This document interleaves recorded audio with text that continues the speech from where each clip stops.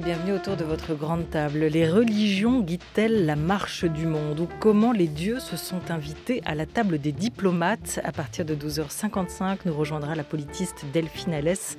Elle est professeure des universités en sciences politiques. Elle vient d'écrire La part des dieux, religion et relations internationales qui sort au CNRS édition. Elle sera l'invitée aujourd'hui de la grande table des idées. Mais d'abord, du théâtre à la grande table. La comédie française, dernière aventure numérique avant réouverture. Et c'est l'intégrale du Soulier de satin, pièce monstre de Paul Claudel, que les comédiens nous proposent en ce moment à l'initiative d'Éric Ruff, notre premier invité. Il est administrateur général du français. Et avec Didier Sandre, sociétaire de la comédie française, entre Divin et Charnel, dernier épisode à voir jusque ce sera le 15 mai, puis en replay sur le site de la comédie française. La Grande Table. Olivia Gesbert. Le soulier de satin, où le pire n'est pas toujours sûr. Action espagnole en quatre journées. Première journée. Coup bref de trompette. Ah.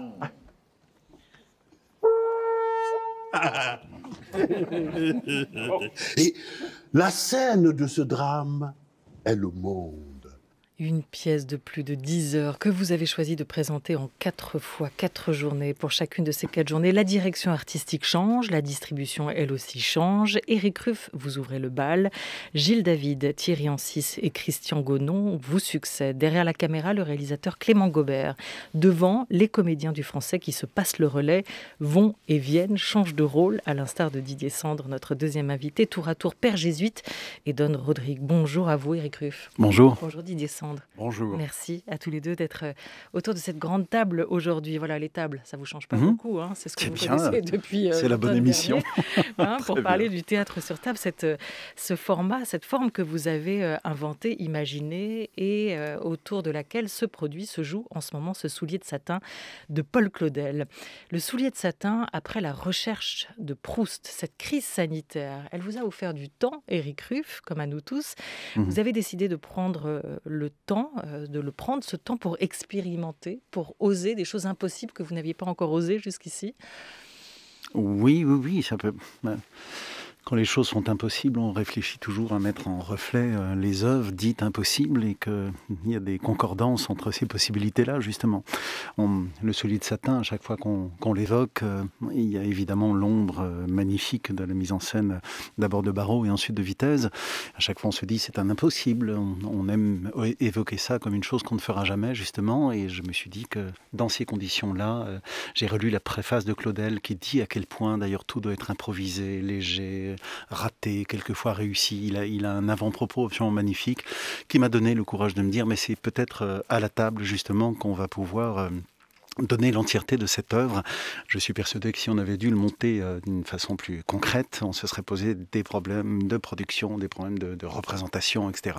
Là, dans ce principe de théâtre à la table, on a finalement euh, tout le temps, effectivement, euh, tout le temps de convoquer des gens qui regarderont ou ne regarderont pas, qui viendront piocher ou qui regarderont l'entièreté.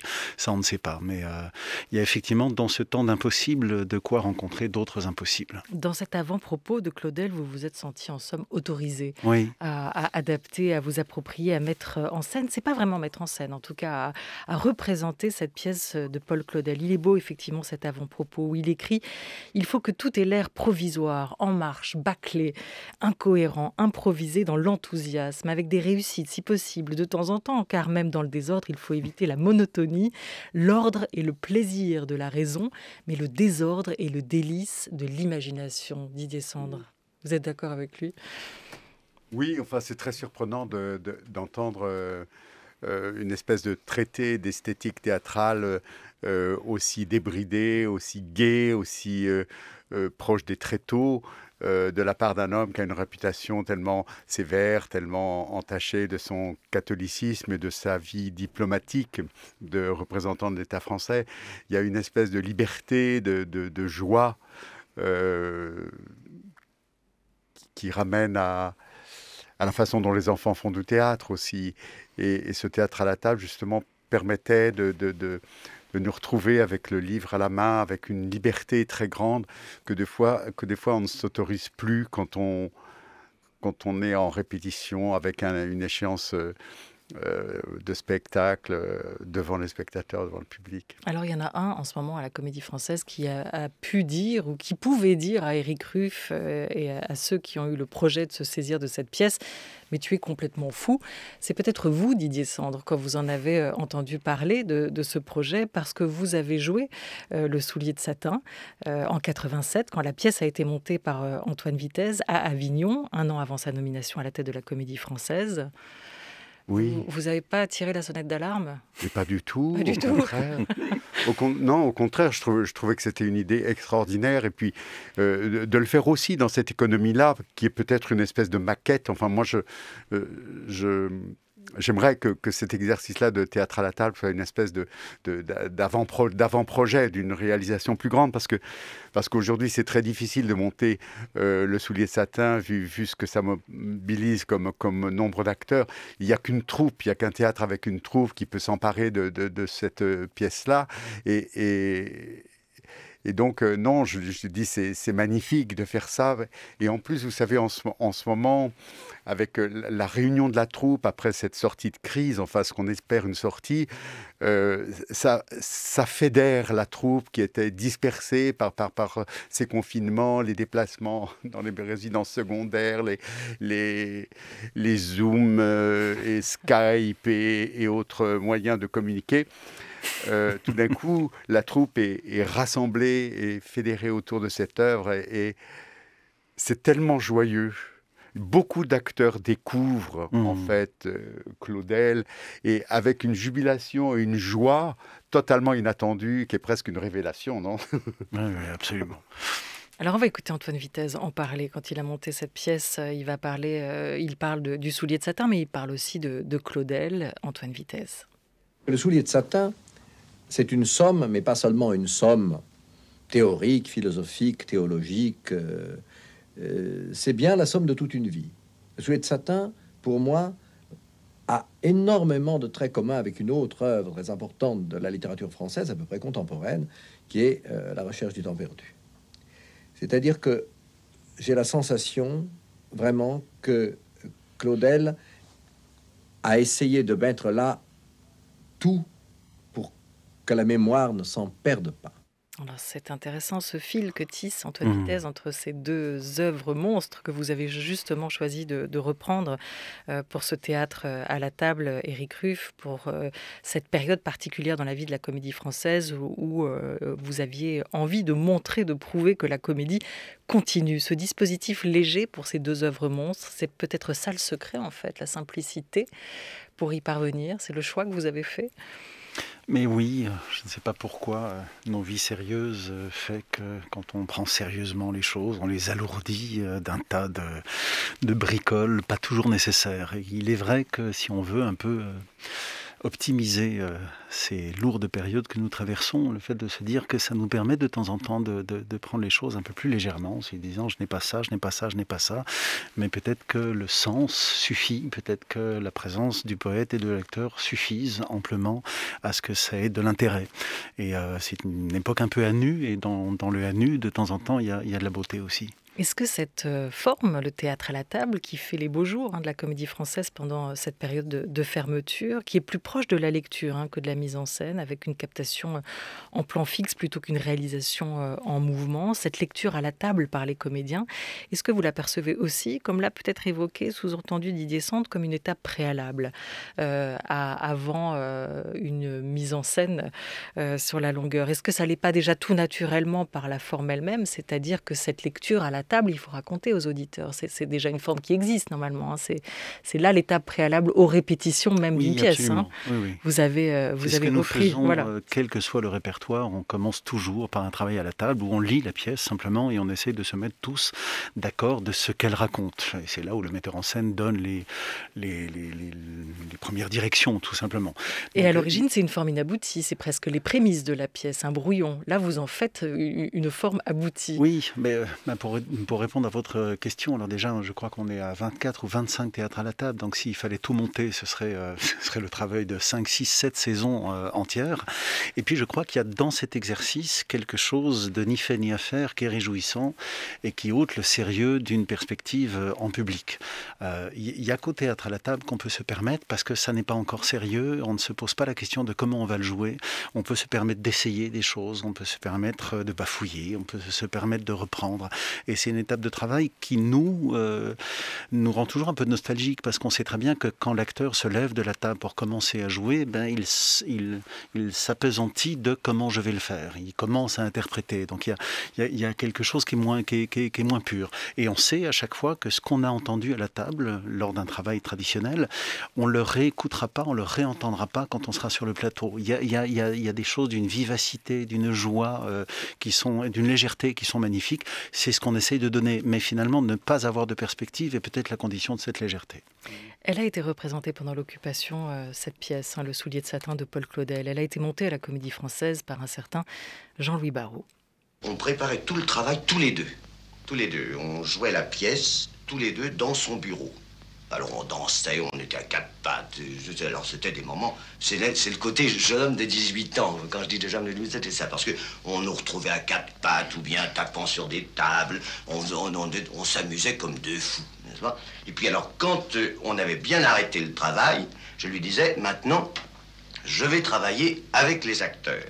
Alors ça, c'est étonnant, parce que c'est vrai que mmh. depuis le début, vous parlez de cette joie de vivre qui a à monter cette scène, euh, cette pièce, à, la réaliser aussi. Et là, on l'entend dans les mots de Barreau, dans sa collaboration avec Claudel. Le sujet pourtant de la pièce est quand même assez grave, c'est un drame, et en même temps, c'est une pièce qui est pleine d'humour. Comment mettre en avant ces ruptures de registre euh, pour euh, les comédiens que vous êtes, et notamment vous, Didier Sand, pour le directeur artistique ou, ou metteur en scène, Eric Ruff, ce côté à la fois tragique, comique, farce pathétique ce côté joyeux de cette pièce, Didier Sandre Vous l'avez trouvé où? Bah, C'est-à-dire, c'est un peu comme dans les pièces de Shakespeare. Il y a, euh, euh, évidemment la trame euh, principale et, le drame de cet amour impossible entre Prouez et, et, Rodrigue, inatteignable amour, et, et, aussi cette aventure terrestre de la conquête, de la conquête de l'Amérique du Sud, de la construction du canal de Panama, et finalement euh, l'échec du conquistador qui finit prisonnier dans une, dans une prison japonaise et avec une jambe en moins, à l'instar de Rimbaud d'ailleurs, où, où, tout d'un coup euh, Claudel se, se reprend à être Rimbaud, le Rimbaud de sa jeunesse. Et et donc la, pièce fonctionne exactement euh, dans ces deux paramètres. Il y a le drame, le drame principal, et à côté il y a toute la bouffonnerie, toute la cocasserie, toute l'expérience aussi de l'homme Claudel à travers le monde dans son travail d'ambassadeur, de consul, etc. Qu'il a pu noter ses points de vue sur la grammaire, par exemple la scène sur les grammairiens est quelque chose de, je sais pas, c'est un chef-d'œuvre d'anthologie comique. Et alors dans ce théâtre à la table, ça nous permet, ça nous permet aussi d'être dans ce que projetait Claudel, c'est-à-dire un théâtre de l'intime, un théâtre de chambre, alors que, évidemment, monter euh, le soulier de satin dans une production normale, ça implique des moyens mmh. qui empêchent ce théâtre de l'intime et ce théâtre de chambre dont il rêvait. À la table, on peut retrouver parce qu'on est microté, parce qu'on n'est pas obligé d'avoir une projection comme on pouvait l'avoir dans la cour d'honneur d'Avignon en, en 87. On, on, peut pénétrer dans l'intimité du texte et dans la profondeur du texte beaucoup plus facilement que... C'est un théâtre de l'intime qui, en représentation, demande des moyens athlétiques, en fait. Et c'est un peu la contradiction de ce théâtre de ce hmm. théâtre-là. Le, théâtre de Claudel euh, n'est pas sérieux, c'est sa part non sérieuse, son théâtre. C'est là où le consul, c'est là où, où l'homme de lettres euh, se permet d'avouer pendant des heures et des heures et des heures euh, son orgueil incommensurable, où il parle de, de, sa joie, de la sexualité, de ses paradoxes, de tout. Donc il y, y, a énormément de joie et d'humour dedans. Oui, c'est Vitesse hein, qui disait euh, aussi, qui parlait de ce paradoxe Claudel qu'on retrouvait dans ce soulier de satin, hein, ce, catholique conservateur et révolutionnaire à la fois, mmh. euh, ce qui en fait aussi euh, quelqu'un et, un auteur explosif à sa manière. Il y mettait toute sa colère, il y mettait tout son amour, il y mettait toute sa rage dans son art. Et cette capacité que l'on a à saisir tout de suite le texte ou, le, ou, le, ou sa profondeur, elle n'est pas obligatoire. On se souvient quand même de ces mots de l'annoncier en ouverture du Solide Satin, qui dit Écoutez bien, Didier Sand, vous le faites mieux que moi, non? Écoutez bien, ne toussez pas et essayez de comprendre un peu. C'est ce que vous ne comprendrez pas qui est le plus beau, c'est ce qui est le plus long qui est le plus intéressant, et c'est ce que vous ne trouverez pas amusant qui est le plus drôle. Voilà ce que dit l'annonceur. Suit cette réplique de vous, Didier Sandre, en père jésuite, à l'occasion de cette première journée. Extrait.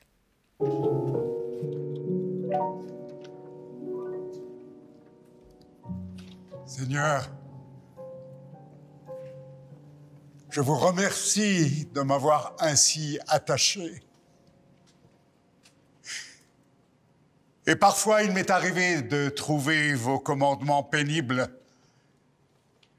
et ma volonté en présence de votre règle perplexe, rétive. Mais aujourd'hui, il n'y a pas moyen d'être plus serré à vous que je ne le suis, et j'ai beau vérifier chacun de mes membres, il n'y a plus un seul qui de vous soit capable de s'écarter. Si peu.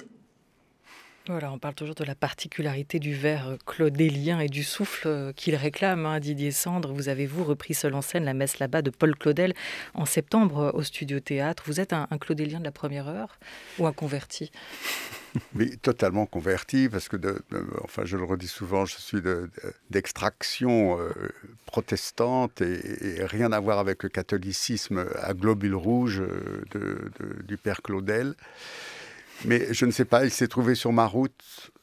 Il s'est trouvé sur ma route comme ça. C'est un peu comme Molière. Finalement, j'ai jamais voulu jouer Claudel quand je voyais des scènes de Claudel euh, au cours d'art dramatique euh, que je fréquentais, je trouvais ça ennuyeux, euh, pompeux, larmoyant, etc. Je, et fait pour, pour les instituts catholiques, quoi. Et c'est en jouant l'échange pour la première fois, en jouant Louis Laine, que j'ai j'ai compris ce que pouvait être cette langue. Et en fait, ça a complètement orienté, orienté ma, ma vie d'acteur, parce que le contact avec cette langue, elle s'imprime dans le corps, elle s'imprime dans la respiration, elle s'imprime dans le, rapport qu'on veut avoir avec le public, c'est-à-dire un rapport qui, va au-delà de la réalité, qui essaye de toucher au-delà des, rentrer en poésie en quelque sorte. et en fait, à l'insu de mon plein gré, ça m'a guidé toute ma vie d'acteur.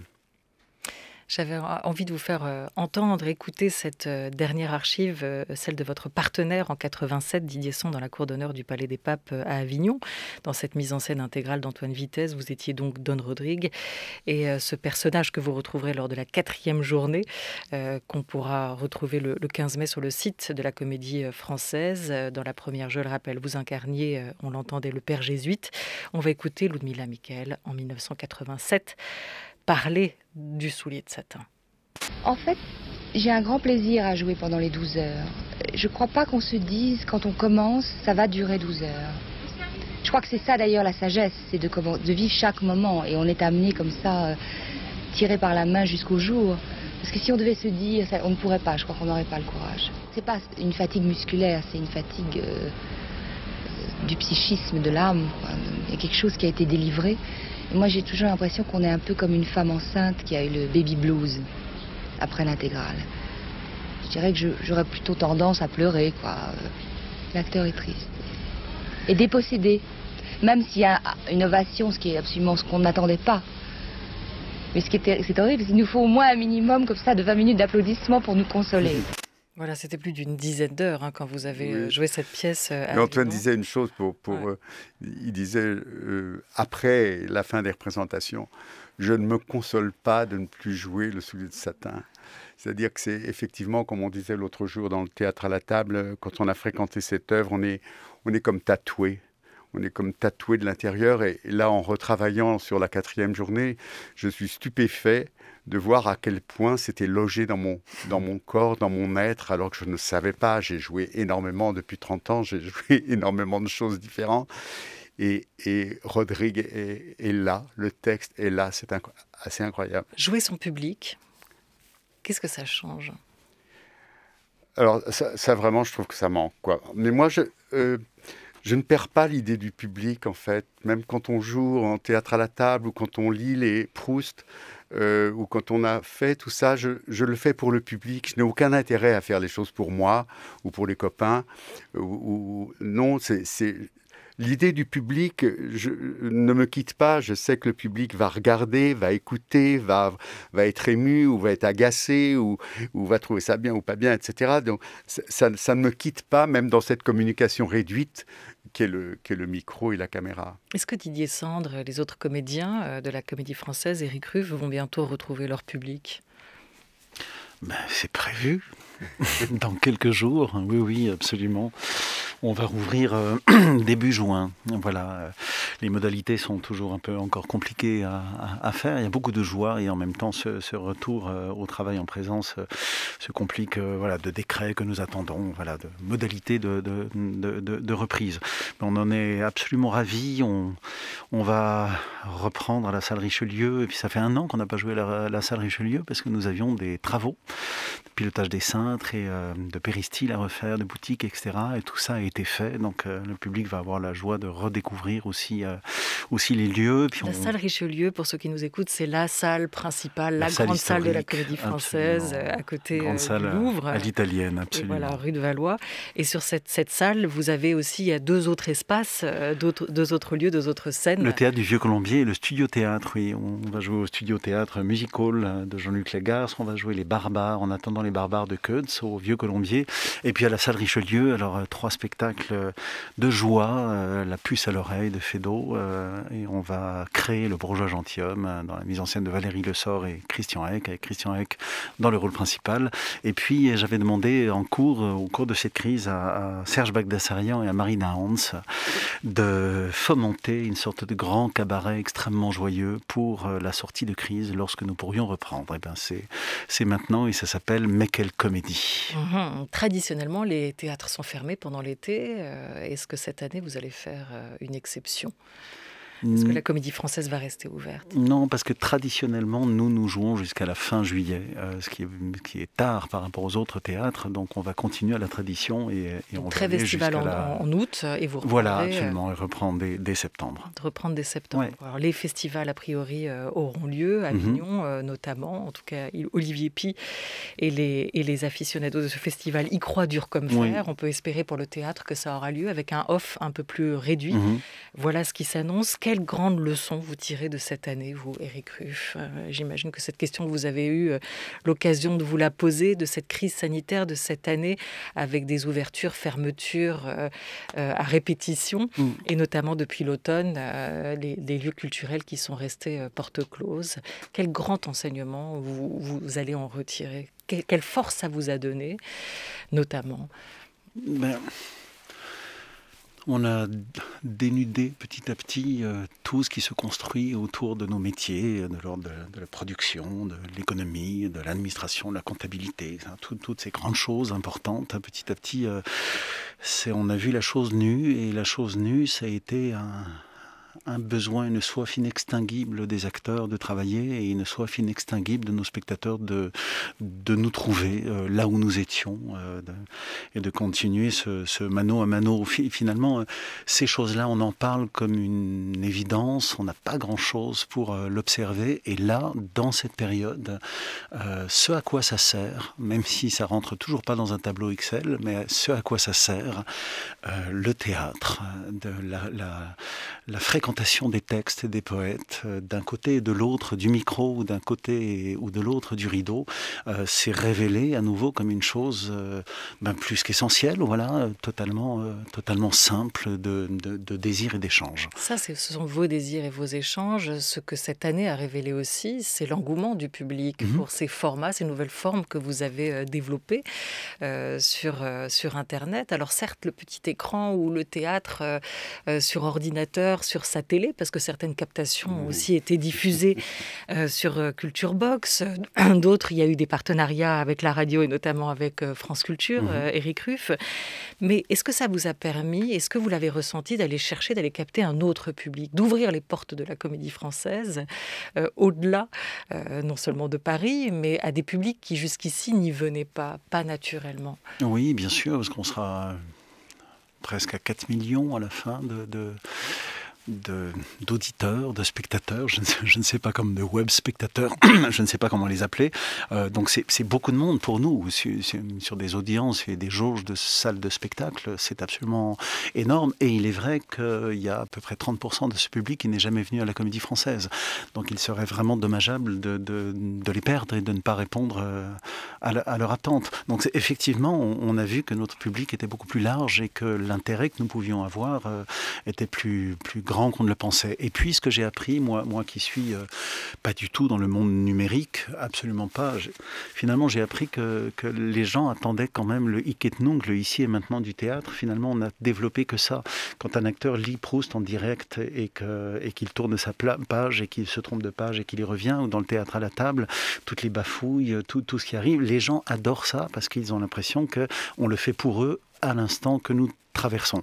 Donc euh, c'est d'une technologie rare tout ça, et en même temps le fond est toujours le même. Voir quelqu'un en face qui passe le même, qui traverse la même période et qui dit les choses dans le même moment. Alors, il y a deux autres projets qui ont été expérimentés. Je, les cite rapidement. Euh, c'est euh, Arnaud euh, Desplechin hein, qui avait mis en scène Angels in America de Tony Kushner sur la scène de la hmm. comédie française, qui a entrepris de filmer ce spectacle. Et puis Christophe Honoré aussi de son côté, avec, ce, avec du côté de Guermantes, de Proust, qui là encore est en train de à réaliser dans les coulisses du français un film qu'on pourra découvrir à la rentrée prochaine, nous disait Michel Field récemment sur hmm. France Télévisions. Didier Didier euh, vous avez participé à cette aventure proustienne à la recherche du temps perdu, ces lectures, formidable succès aussi euh, pour euh, cette opération-là. Ce temps, vous allez le retrouver, celui de la scène, très bientôt, avec impatience Oui, avec impatience, avec un peu, un peu d'angoisse aussi, parce que, parce que bon, quand on a quitté des, amis depuis longtemps et que hmm. et qu'on essaie de les retrouver, il y a toujours une émotion, une émotion importante. Euh, que, mais pendant cette année où on a été privé de public, enfin en tout cas en direct, euh, on a appris énormément de choses. Euh, on ne savait pas se filmer, on ne savait pas s'enregistrer, on ne savait pas euh, commenter un texte pour les enfants euh, qui passent le baccalauréat. On a, on, a cherché des histoires, des histoires à raconter pour les enfants, etc. Ça nous a, ça nous a obligés à sortir de, de nos rôles, de nos loges, de nos scènes de représentation pour aller au plus proche du public. Merci beaucoup à vous, Didier Sandre. Merci mille fois, en espérant que vous irez au bout de la recherche de Proust en lecture, parce que c'est long, très très long. En attendant, euh, théâtre, le théâtre à la table, en quatre épisodes, ce soulier de satin de Paul Claudel. Les trois premiers sont déjà passés. Il reste le quatrième qui se jouera le 15 mai. Et tout est à revoir en replay sur le site de la Comédie Française ou sur YouTube. Merci beaucoup, Didier Sandre. Merci, Eric. Merci à vous. Merci beaucoup. Merci beaucoup. France Culture l'esprit d'ouverture. Une histoire de la gauche en quête du pouvoir. Une histoire des gauches, souvent désunies, mais parfois unies. Sur France Culture, le cours de l'histoire, Xavier Mauduit. Avant de s'installer à l'Élysée, le chemin est épineux. Dans les années 1970, il débute à Épinay, en rose et rouge. Mais quelles voies sont choisies dans les années 30 avec le Front populaire? Une histoire qui nous conduit aussi sous la Révolution pour l'invention de la gauche et déjà des gauches. Le cours de l'histoire, cette semaine du lundi au mercredi à 9h05 sur France Culture, franceculture.fr et l'appli Radio France. Il est midi et demi sur France Culture. Le journal Thomas Cluzel. Bonjour Thomas.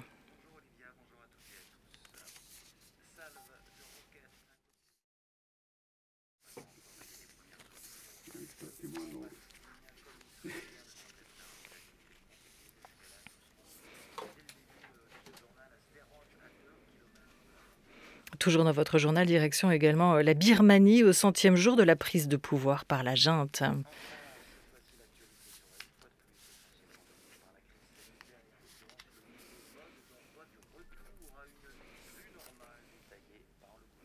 Également un nouveau rendez-vous hebdomadaire de la rédaction à compter d'aujourd'hui.